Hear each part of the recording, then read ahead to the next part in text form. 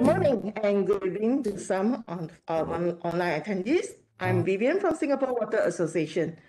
Thank you for attending today's behind the scene premiere of the globally acclaimed film Brave Blue World, proudly presented by DuPont Water Solutions, Suez Asia, and Xylem Singapore.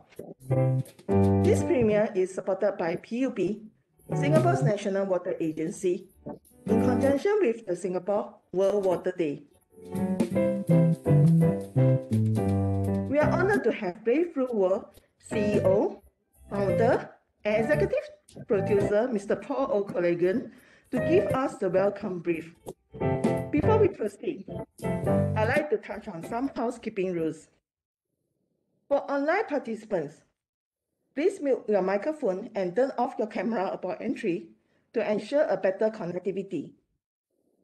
To ensure to avoid disruption, we reserve the rights as organizer to withdraw any participant from interrupting the session.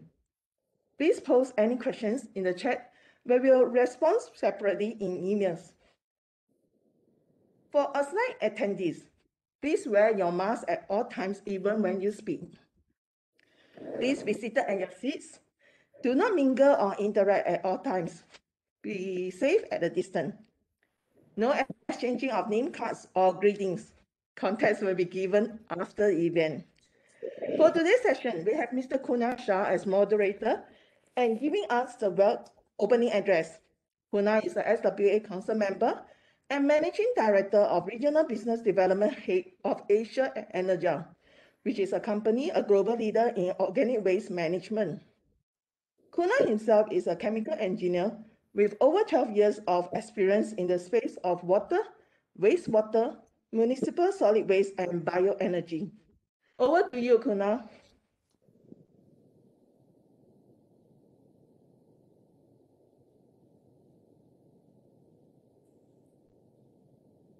Thanks, Vivian.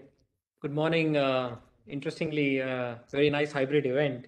Um, it gives me a great pleasure to welcome you all to today's um, behind the scene premiere of uh, Brave uh, Blue World, organized by the Singapore Water Association and duly presented by DuPont Water Solutions, Suez Asia, and Xylem Singapore.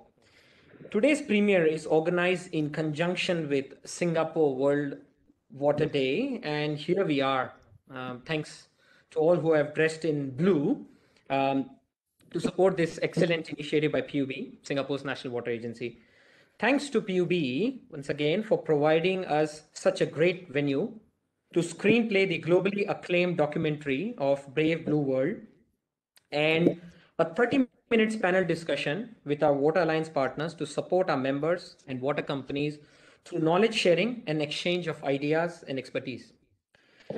As you all know, the World Water Day is approaching. Um, I guess you all know that it's on the 22nd of March. And this year's theme is very interesting. It's the theme of this year is called valuing water.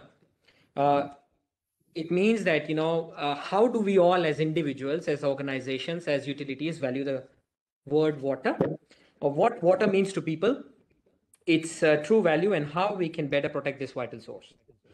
Uh, today's hybrid event is one such platform whereby SWA hopes to actively engage our member companies in the development of a future ready, innovative, and sustainable water infrastructure in the region and globally. A few lines about SWA to all the online and uh, on site attendees. We started in 2004. SWA has been providing a platform to build effective networking, facilitate opportunities for collaboration, and foster the exchange of ideas and knowledge among member companies. Our mission is to develop a vibrant and dynamic Singapore water industry and the vision to be the regional hub for all water services and technologies.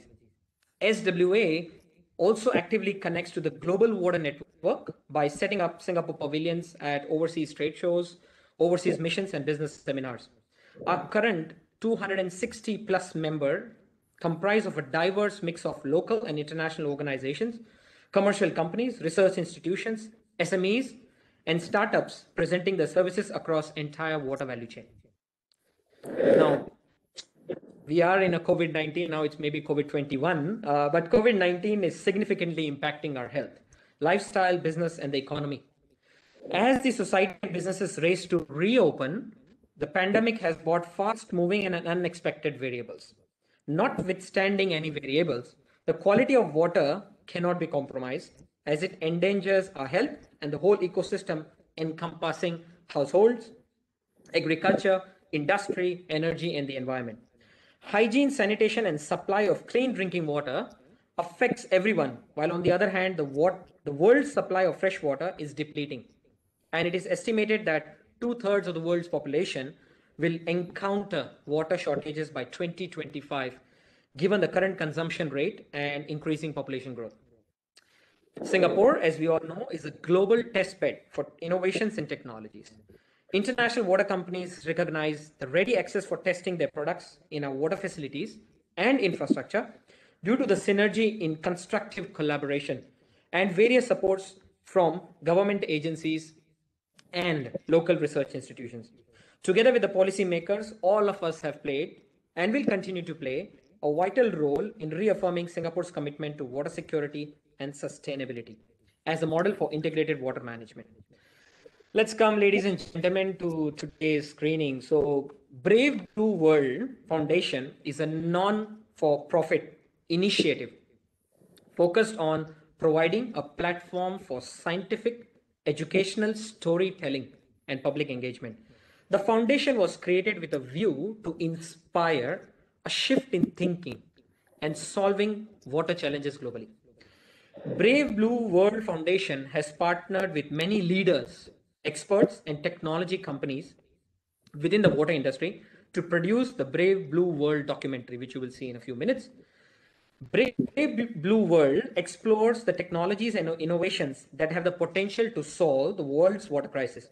The film highlights scientific and technological advancements that have been taking place to ensure the world's population has access to clean water and safe sanitation services, and the environment is protected.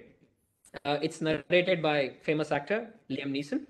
Uh, Brave Blue World features scientists, engineers, activists from across the world, including my favorite actor Matt Damon, co-founder of global non-profit. I don't know how many of you know that he also uh, owns a non-profit water organization called Water.org, uh, which is doing a lot of work in the water sector and actor and musician Jaden Smith, co-founder of uh, non-profit 501c3. Uh, with this, I would like to introduce uh, the executive producer, Paul. Uh, I happen to know him for many years now, personally, who was inspired during his international travels as founder and chief executive of BlueTech Research. Through many conversations with water utilities, technology companies, academics, and communities, Paul reasoned that the countries whose governments were progressive with water innovation, investment and technology adoption, seem to have particularly high levels of public engagement and awareness of regional water supply and wastewater treatment issues. Now, this is very interesting. Paul has long admired Singapore's approach to water management. Um, I think in Singapore International Water Week 2012, Paul was a keynote speaker. And uh, it was the first time he presented the three words brave blue world. So we have an interesting connect to the movie uh, with a desire to change how people think about water and share stories of the pioneers who are carrying out groundbreaking work whilst fast tracking solutions to global challenges. His team of scientists set out a journey to create this compelling water documentary. Without further delay uh, may i now present paul's welcome brief. He's on the other part of the planet so we have him speaking with us virtually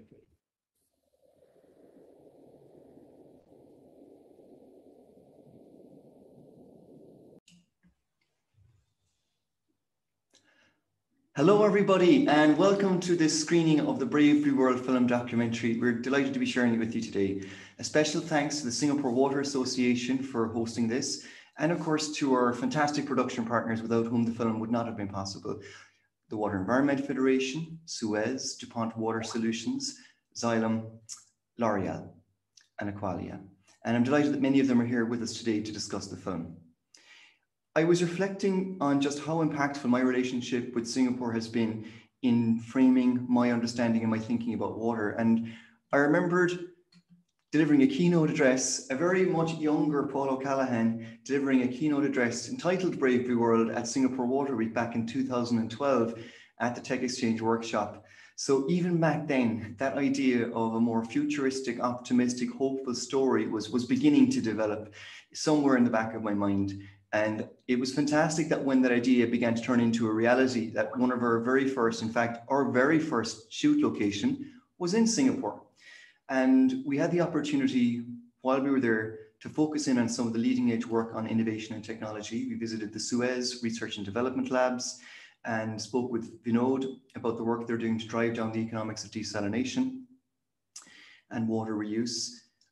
But of course, that's really only one side of the Singapore success story around water. And the other story, and perhaps the less told story, it relates to communications, education, and outreach. And somebody had given us a tip to go down to the Singapore National Archives and dig around and just look at how long Singapore has been engaging in creative communication around water. And of course, we found message boards, um, cartoons dating back to the 1980s that were all designed to raise people's awareness of the understanding and the value of water. And certainly for me personally, this is something that's always left an impact on me. Whenever I arrive into Changi Airport and I hop in a cab and I'm on my way into my hotel, I'm chatting with the driver and they ask me why I'm in town. And of course, I'll say, oh, I'm here for a water conference, usually Singapore Water Week. And straight away, invariably, they start to tell me all about water. They tell me about the four taps, about NEWater, about how important water is to the future of Singapore.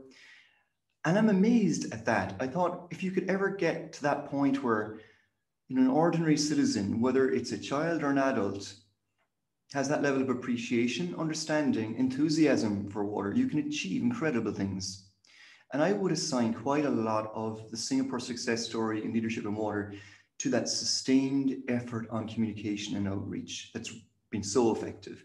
And really, that was the piece that I felt was often missing when we within the water sector go out and we try to tackle these major problems through innovation and technology. I mean, we have finance, we have technology, we need good policy, but good policy begins with people. You know, unpopular policies don't get politicians elected. And that was where the idea for developing a film documentary that could reach a very wide audience came about. And now we're absolutely over the moon.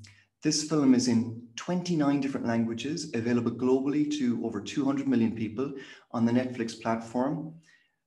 So far, we've won five different awards for the film. It's being filmed in a host of different film festivals now, including locally there in Southeast Asia, the Kuala Lumpur, Kuala Lumpur Eco Film Festival. Um, so, you know, lots more to do. And uh, we really hope that events like this help to spread the word. So please tell your friends, tell your family about the film. We hope you really enjoy it, are inspired by the stories, and we hope that these stories will inspire others to follow in the footsteps of the leadership that, that Singapore has shown. So with that, I'd like to thank you for your attention and I hope you really enjoy the film. So since Halim, you, um, it's an actually interesting one I, I wanted to ask is that, um, you know, uh, there are so many technologies which we saw in the movie have played interesting roles, right? From water, wastewater, industry, municipal, and um, uh, and they have also played a good role in supplying 24/7 water.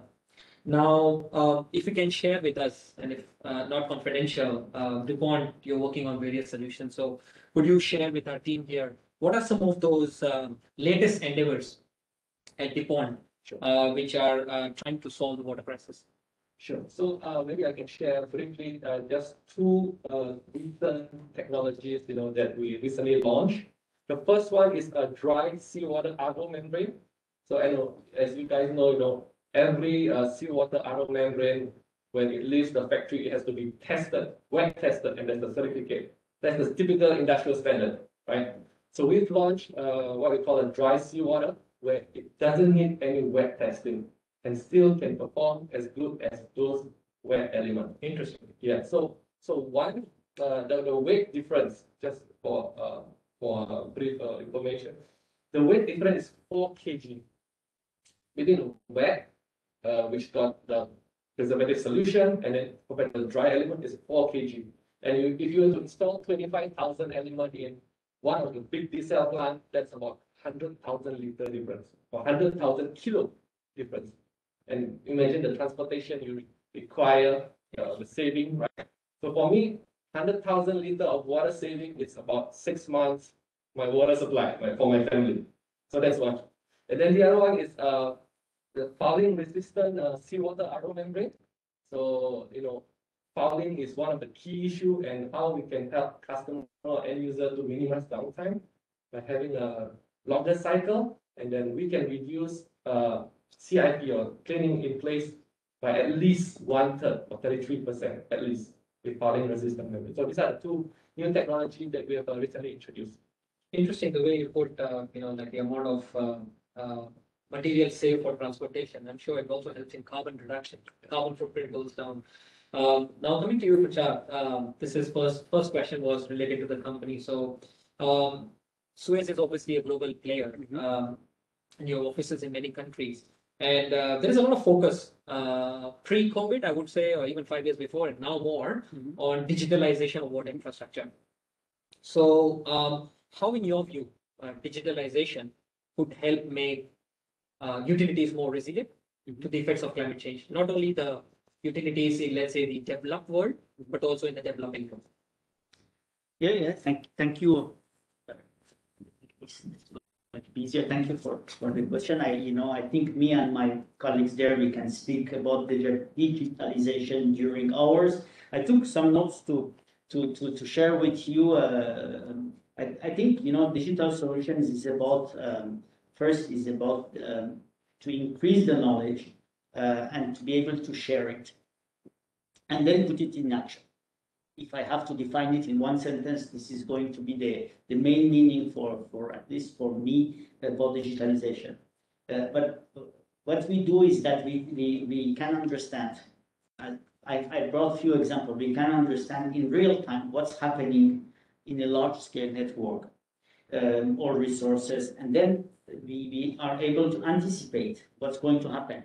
Okay, and, and then take take uh, take take uh, take some actions. For example, uh, there is, um, we have an offer called AQUADVANCED, which is uh, for, for which, which, has been used also uh, in, uh, in Singapore and many other cities is to, uh, to uh, basically to, to, to support um, cities to better manage the urban drainage.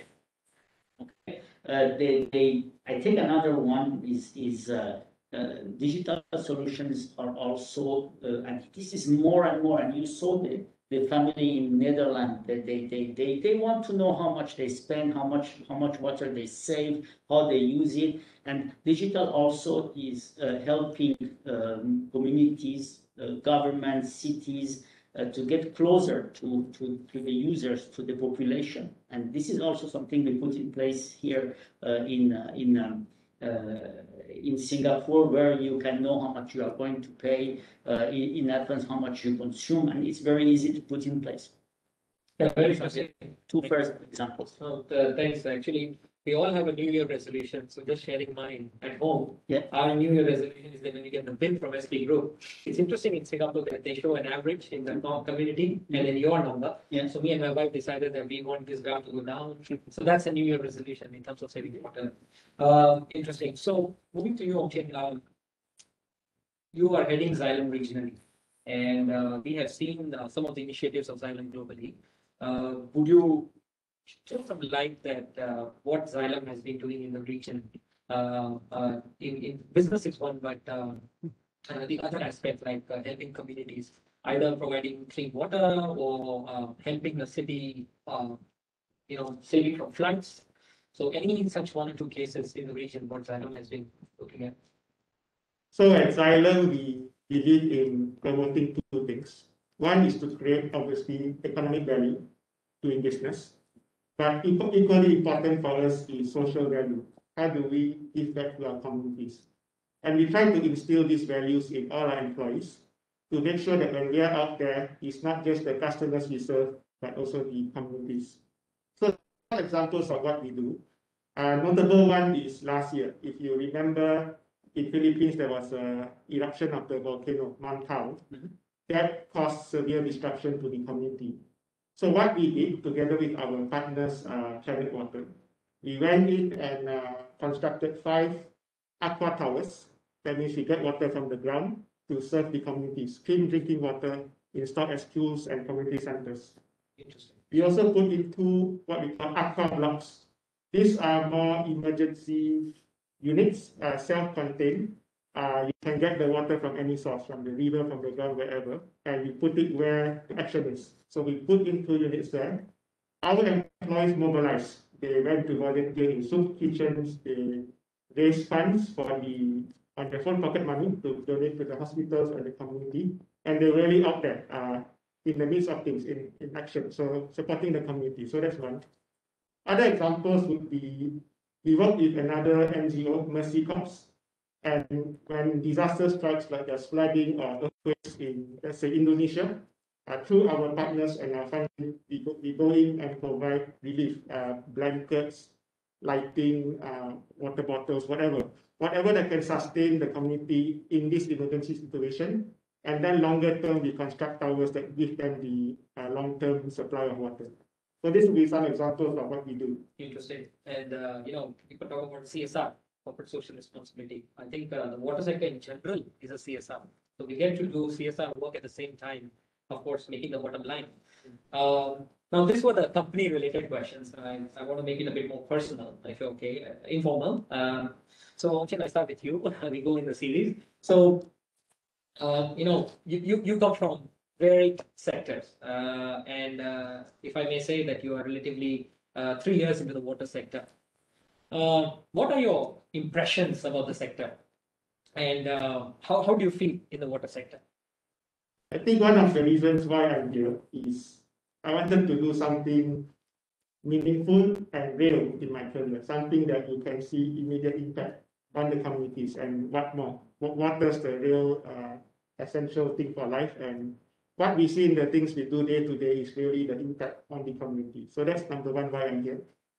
Second, in terms of the people and the skills, it is multidisciplinary because you look at the solutions, it's anything, right? It's from mechanical pumping solutions, it's biological processes, it's treatment, membranes, materials, UV, and now we're talking about digital solutions. So at the machine level, at the subsystem, at the whole solution platform level, uh, a lot of things uh, people really need to know and to master to be able to then offer a solution to the customer that really touches on the key challenges that they have. So again, not an easy sector to be in. I mean, the solutions may sound easy, but actually when we put it together as a system, that's, that's where the trick is. And that's where I think uh, the industry is providing a lot of value.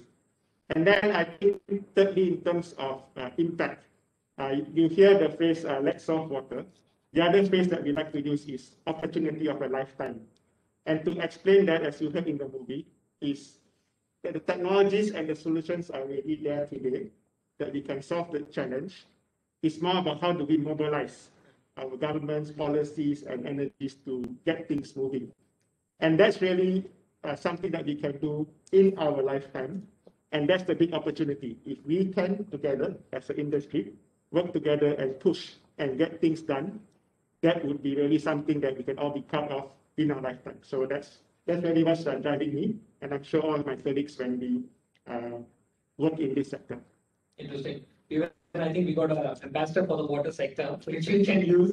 I think it's very interesting for all the people also, the youngsters also watching that the sector gives you an opportunity to really see what you're doing. Um, uh, moving with that, uh, to you, uh, from relatively new in the water sector to 25 years in the water sector. Uh, how, how, how have you seen uh, 25 years ago and now the water sector transforming or changing? What are those some changes which you see? Obviously, on the positive note, um, which you would like to share with our us. Well, first, thank you for reminding my age. uh, not, let me, let me, uh, let me, uh, when I started to this, uh, to get to, actually, I started the, I started with Suez 25 years ago, and I started the, the first steps was in, was in the waste business, which, you know, was the other part of, of Suez. And at that time, I was just freshly come out, coming out of university and business school. all my colleagues, uh, alumni, they, they, they, they all wanted to go to L'Oreal, they wanted to go to, uh, to Nokia, they want, no, and I was the only one switching to, to, to going to this business, which was not as as glamorous as other other businesses. Now they all want to come to, to Obviously, so, so I made the right choice. This is something I wanted to share to, with you. And second thing, I think there are many changes. Uh, you know, I have been visiting, uh, I didn't count, but uh, over at least 20, 30 different countries for, for Suez. I have been based in many different countries for, for the company. Uh, the, the main things which has changed is first uh, the, the, the level uh, of knowledge of our clients, small, big, all over the world uh, on technologies and the request, the level of requests they have. Uh, they, maybe 25 years ago, they would say, okay, no, give me something simple. Don't talk to me too much.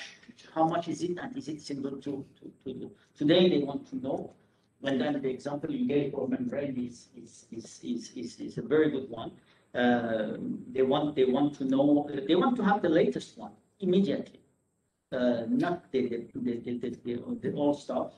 But this is the first thing which has changed. Second thing which has changed in the past 10 years, you know, 25 years ago, we, we are already, we were already speaking about sustainability, but it was at the last page of the presentation. It said, by the way, uh, uh, not, not everybody, I- think, you know, I, I, I, I was visiting L'Oreal uh, factories in France uh, in eight, late nineties. They were already very advanced compared to other uh, uh, companies, um, but not everybody.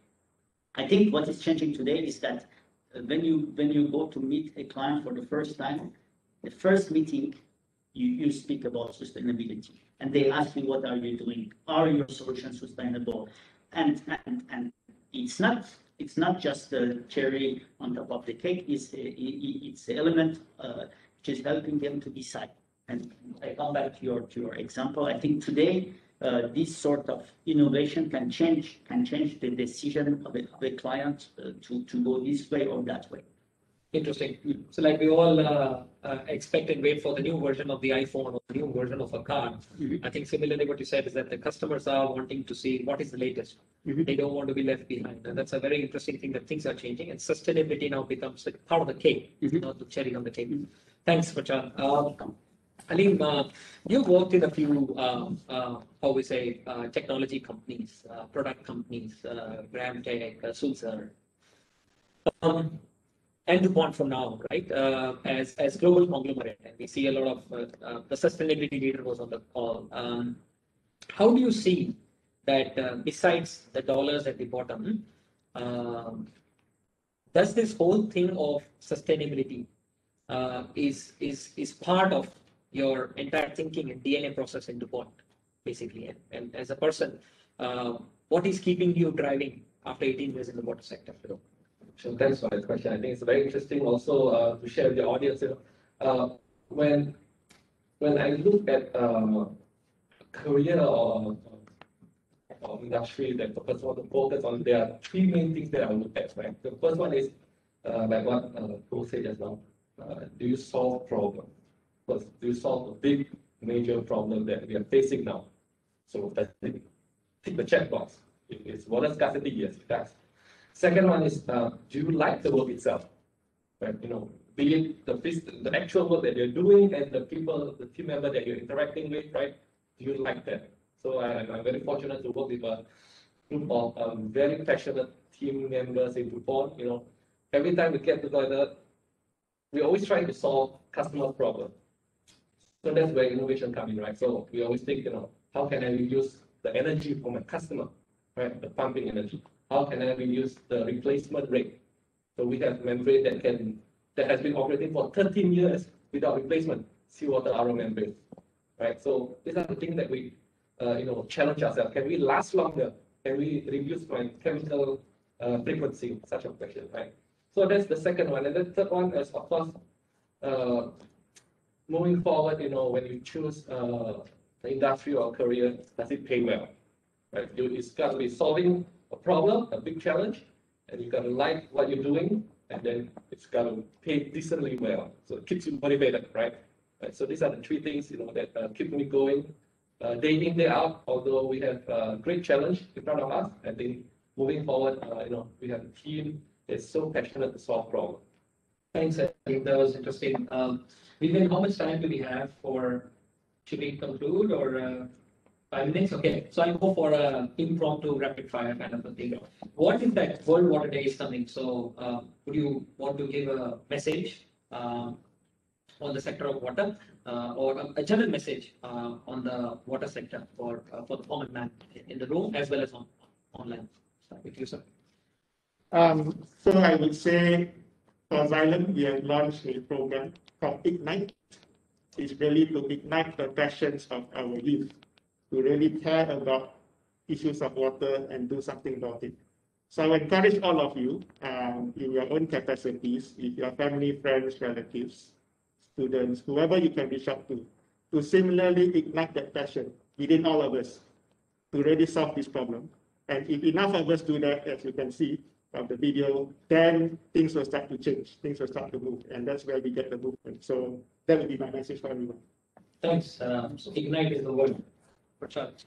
I think um, I would I would say do do at least one small thing, as you said, you know, one resolution, do something, do something. You be you me alone, I cannot build an Orange County plant, but but uh, uh, I, I I I do things at home and I teach my daughter. Uh, today she's three and a half, but I I I I when she's brushing her teeth, I said you need to turn off. Then when you want to wash, you turn on. And last time she came to the bathroom, I was washing my teeth. She said, it's open, close it. so I think we, we have to do small things. So this is my message as a, as a, as an individual to you, do small things, and it works. So I would say charity begins at home Yeah. and uh, walking the talk is the flavor. Halim, how about you? So maybe on the individual level, I think the message would be, you know, everyone plays part, right? So I think I echo what uh, Farchard said just now, you know, I have a boy at home. And uh, whenever he is in the toilet for more than five minutes, I will, I will come and look at him what he's doing. And more often than not, he's uh, playing with water or brushing his teeth, but the tap is on, or taking a longer shower than required. So I will always remind him, uh, please note that, you know, water is precious, especially in Singapore. Right? And then I will talk about the Four National Taps and all that, but he still doesn't get it, but I will keep drilling until he get it one day. So everyone plays a part. Interesting. So self-discipline is uh, another way. Uh, yeah, so ladies and gentlemen, we saw some interesting views of individuals. Uh, you saw the movie. I think, uh, you know, would like to thank everybody who was here in present. It was nice to see people, right? Uh, uh, people outside the home. And uh, it was uh, thanks to all who joined online. Uh, thanks to these companies who have uh, sponsored the, the preparation of this movie. Um, um, I would say, as for chat, I've also watched this movie the second time today, and I would encourage everybody to show it to your kids and so on and so forth. We are not marketing the movie, but it is all about creating awareness, creating the the, the igniting the factor that it is a finite resource, and let's let's do something about it. Uh, World Water Day is coming, so if everybody of you uses uh, LinkedIn, Facebook, just post a simple message. You are in the sector, uh, like how you value water. You can even go to the website of World Water Day, and even PUB is conducting a lot of events It's whole week leading towards the World Water Day. So you may be able to contribute in a way or the other. With that, uh, thank you again, and thank you all three of you to have a nice uh, panel discussion. I hope you enjoyed. it. Thank you very much. Thank you. Thank you.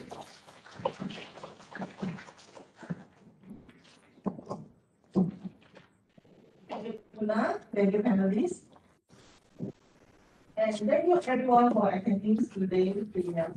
I hope you have uh, enjoyed and especially the great panel discussion with our four panelists. Thank you.